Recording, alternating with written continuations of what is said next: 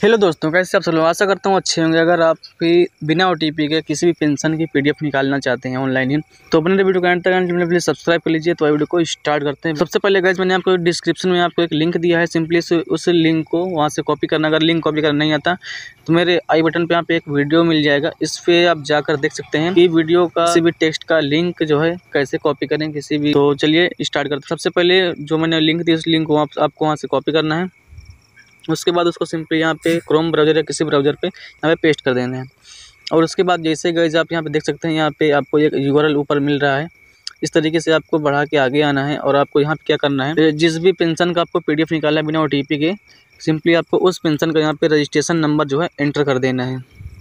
तो वैसे हमने रजिस्ट्रेशन नंबर एंटर कर लिया, उसके बाद सिंपली हम यहाँ सर्च पे क्लिक करेंगे और थोड़ा वेट करेंगे। जैसे हम सर्च पे क्लिक करते हैं, थोड़ा वेट करने के बाद तो फ्रेंड्स थोड़ा वेट करने के बाद आप देख सकते हैं जो हमारा पीडीएफ है, वो पूरा इस, पूरा ही इस तरीके से आपके सामने आ चुका है। आप फाइनली यहाँ पे देख सकते हैं। हमारी application forward to video H होती है, वो इकतीस मार्च दो हज़ार बीस को हमने किया था। और ये फॉर्म जो है, हमारा अप्रूव हो गया है। और जो वीडियो एच के अप्रूवल करेगा, अगर आप अर्बन एरिया से यानी शहरी क्षेत्र से हैं तो आपका एच अप्रूवल करेगा। अप्रूवल करने के बाद हम जाता है डी ओ के पास सीधा फ्रीज यानी कि लॉक हो चुका है। उसके बाद अगर यहाँ पे देखें P F M S bank validation status यानी यहाँ से आपका पैसा आता है। पी एफ़ एम एस पे फाइनली यहाँ पे to be uploaded on P F M S यानी कि आपका जो फॉर्म है वहाँ पे एक्सेप्ट कर लिया गया P F M S bank के द्वारा। वहाँ से आपका आपकी जो पेंशन है वो जारी कर दी गई है।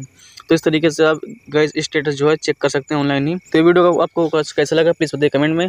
और चैनल पर तो प्लीज़ सब्सक्राइब करना बिल्कुल भी ना भूलें। Thank you so much for watching